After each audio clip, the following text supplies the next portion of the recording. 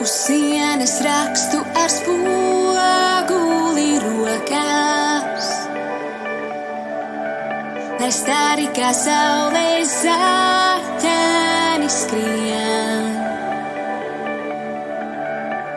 Jūtu klusi pie sevis, dzirdu, kā sirds manī žņaus. Dienās vēlākajās,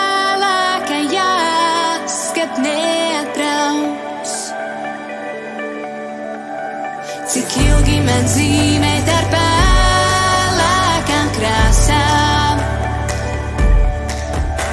To gleznu, kas jau pie sīkām.